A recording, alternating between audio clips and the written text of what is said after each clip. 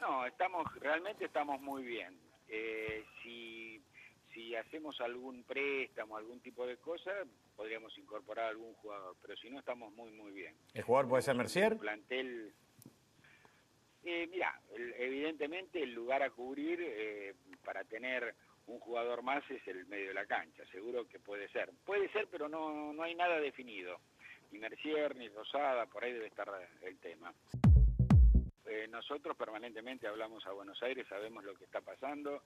Nosotros esto lo veníamos advirtiendo hace ocho meses. Cuando estuve yo en el programa con ustedes les dije que, que- que había que ordenar, ordenar la economía. Bueno, nosotros la tenemos ordenada y creo que todo el mundo debe ordenar la economía. Obviamente se necesitan mayores ingresos, porque los clubes necesitamos mayores ingresos, pero bueno, lo, lo primordial es ordenar primero la economía para después recibir los ingresos.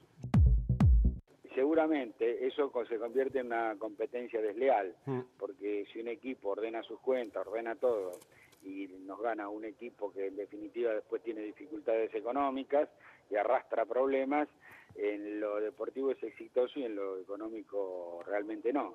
Yo creo que debe, se debe ser ex- exitoso en las dos cosas, tanto en lo económico como en lo deportivo. No sé, yo ahora a la tarde voy a hablar con Carlos Crespi, Mm. que él me- nos está informando a todos los que estamos acá qué es lo que está pasando. Así que yo creo que las reuniones son permanentes y se buscará una salida para que el campeonato empiece. Yo, eh, a ver, eh, yo creo que hay que buscar soluciones. Mm. En esto hay que buscar soluciones. El fútbol es una pasión del pueblo argentino y esto, esto eh, de alguna manera se tiene que resolver. Así que nosotros confiamos en todos los compañeros que están en Buenos Aires, que están trabajando tanto en Boca Juniors como en las demás instituciones, para buscar un lugar donde podamos empezar este campeonato y por otro la- lado empezar a mirar con idea de futuro para que no vuelvan a ocurrir más estas cosas. No sé, yo de acuerdo a la- las distancias eh, son importantes y grandes.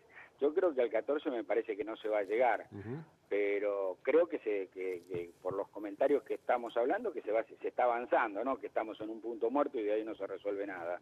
Creo que se están avanzando las cosas.